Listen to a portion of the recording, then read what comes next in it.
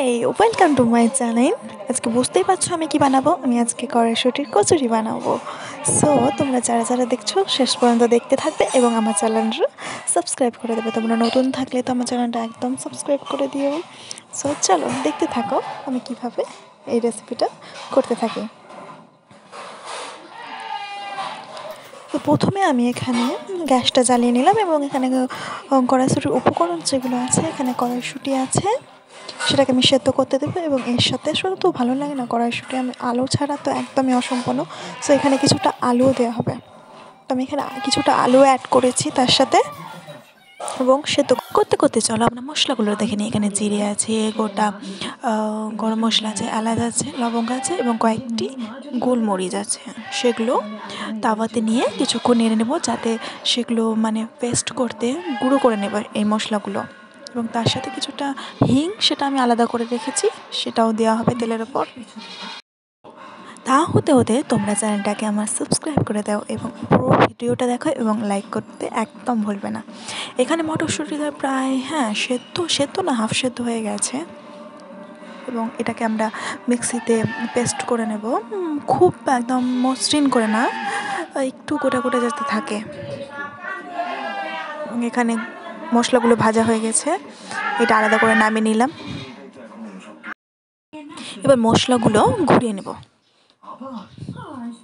একদম মিহি মিহি করে মশলাটা ঘুরিয়ে নিতে হবে। এরপর চলো আমরা কড়াইতে তেল দিই এবং তার তেলের উপরে একটু হিং এবং গোটা জিরে এবং তেজপাতা দিয়ে ভালো করে ভেজে নিতে হবে। ভেজে নেওয়ার পর আমরা কি করব এখানে আদা কুচি করে দিলাম। কারণ আদা বেটে দিলেও হবে এবং আমরা এখানে গ্রেট করে দিলাম।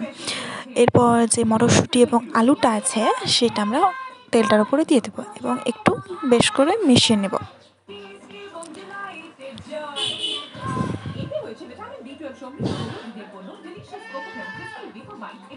মিশিয়ে নেওয়ার পর হলুদ দিয়ে দিলাম তাতে এবং নুন দিয়ে দিলাম স্বাদ মতো একটু চিনি দিয়ে দিলাম।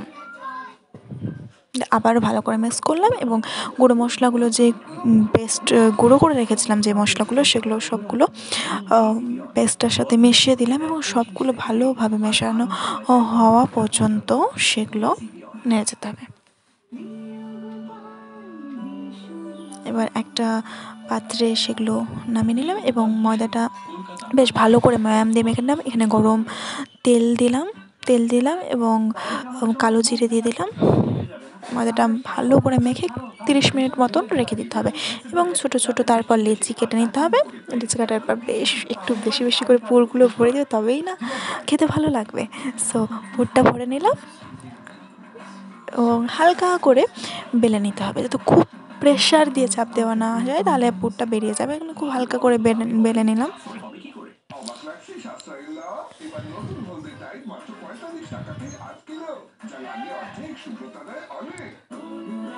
এবার ভেজে নিলাম। একসাথে যতগুলো এঁটেছে আর কি। তারপরে তো দেখতেই পাচ্ছ, গরমা গরম একদম কড়াইশুটির কচুরি রেডি ভেতরে পুরো একদম কচুরি যে পুরটা, একদম পুরোটা চারিদিকে ছড়িয়ে গিয়েছে সো তোমরা আমার চ্যানেলটা একদম সাবস্ক্রাইব করে দিও লাইক করে দিবে কেমন লাগল কমেন্টে বলো।